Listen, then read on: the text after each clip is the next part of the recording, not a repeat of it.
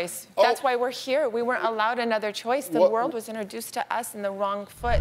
What happens when a restaurant is so controversial that it becomes a viral sensation for all the wrong reasons? In today's episode, we're slicing into the story that had everyone talking.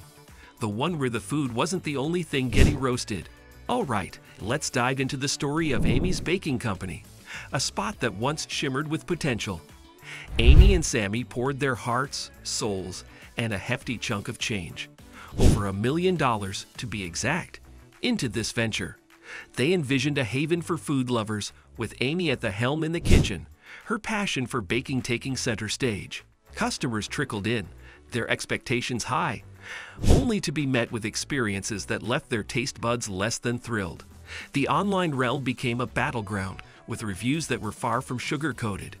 And how did the couple react to these early warning shots? With a mix of disbelief and defiance.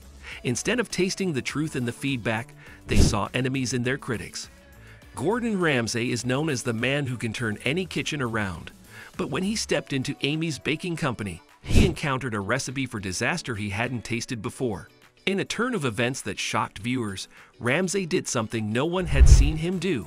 He walked away. The episode aired, and the response was explosive. People tuned in by the millions, drawn to the spectacle of a culinary titan meeting his match. Amy and Sammy stood by their methods, blind to the crumbling foundation of their business under the weight of their own illusions.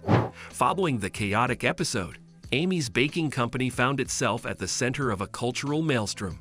The internet exploded with a flurry of memes and sharp commentary as viewers flocked to their devices to share their shock and laughter.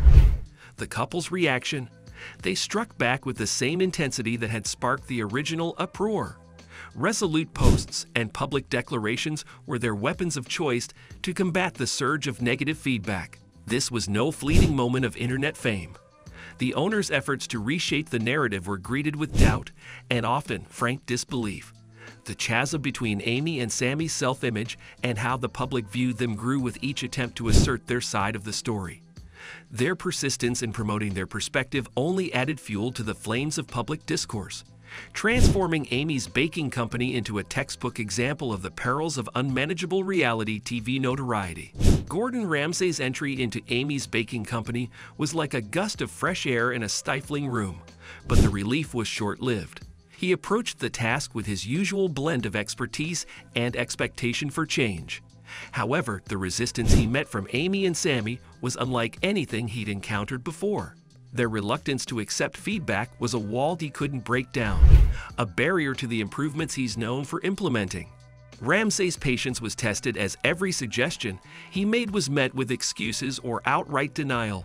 The couple's inability to acknowledge the flaws that Ramsay pointed out only added layers to the challenge. It was a battle of wills where compromise seemed like a language neither Amy nor Sammy were willing to speak. The climax of Ramsay's efforts was a moment that stunned both the staff and viewers alike. After a series of confrontations and an unyielding stance from the owners, Ramsay reached a tipping point. In a decision that marked a first for Kitchen Nightmares, he realized the situation was beyond repair and made the difficult choice to walk away. This unprecedented move underscored the gravity of the situation and left a lasting impression on the series' legacy. Amy's baking company's end came quietly, a contrast to the noise it made on national TV. The restaurant, once filled with dreams of culinary success, closed down. The reasons were clear. Bad reviews kept coming, the staff felt mistreated, and the owners wouldn't listen to anyone's advice, not even a famous chef's. Amy and Sammy didn't go down without a fight, though. They stood their ground, never really saying they might have made mistakes. But behind the scenes, trouble was brewing. Money problems and legal issues started to pop up, showing that the restaurant's troubles weren't just about the food or service. That's the scoop on Amy's Baking Company. If you get a kick out of this wild ride, smash that like button, hit subscribe for more crazy stories, and ring that bell so you won't miss out on our next video. Got something to say? Drop it in the comments. Catch you in the next one.